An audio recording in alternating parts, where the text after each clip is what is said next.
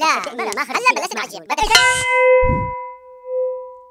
رمضان تجلى وابتسم طوبى للعبد إذا اغتنم إيه والله أنا اغتنمت خروف وزنه 50 كيلو مبروك من وين اغتنمته؟ من عند ابو سمع القصاب منين يعني؟ أيوه يعني عم يوزع لحمة ببلاش؟ لك وليش ما تذكرني بشي هالواطي؟ لك اين ببلاش؟ عند أمك تحصل هي البلاش.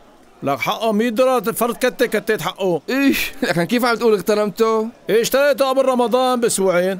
قطعته وشلفته بالفريزر لكن وين الغنيمة صفي بالموضوع؟ لك الغنيمة إنه هلا 200 دولار ما بتجيبه إيه والله معك حق.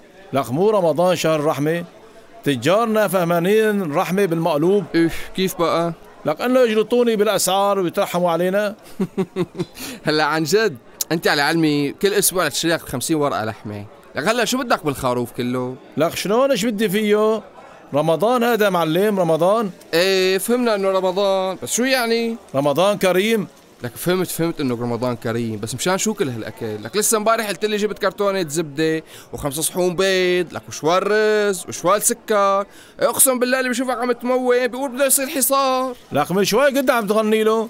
الله ما بقى يعجبك نحتفل فيه؟ لك يا أبو عبدو بنحتفل وبنستعد بما أوتينا من قوة. بس والله شغلة الأكل زادت عن حدها.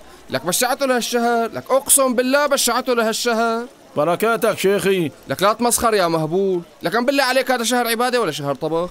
أساسا أنتم إذا بدكم تطبخوا وتأكلوا كل شيء جبتوه بهالأسبوع اي وقت للصلاة يا دوب يضل عندها لا تزودها. لكن أنت لو تبسطها. يعني بالله عليك إذا فقت لي ب 12 ويا دوب لحقت لي صلاة الظهر بالجامع وبعد الظهر طلعت جبت لك غرضين يعني صوت اللبن ولا ربطة خبز وبعدين جيت لي للعصر. هدي هدي علينا شوي يشبك فرت علي فلفلتي؟ ما فلتت ما فلتت رح كمل لك لسه.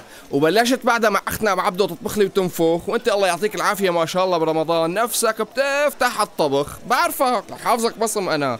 لا شو وبعد منها بدك تروح تفطر وتأخذ لي الأرض منبطحان. والتراويح الحمد لله رب العالمين على القاعد. شو ضل من يومك بس مشان الله بدي أفهم. إيوه. ش- آه بتحب تخرب علينا فرحتنا؟ لك والله مو هيك يا أبو عبده بس قاعدين عم نتناصح انصحني انصحني شيخ انصحني. انصحني كمل كمل. شيخ ما هيك لك يا أبو عبده يا أبو عبده عن جد عم حاكيك. والله العظيم هذا شهر عبادة وقربة إلى الله.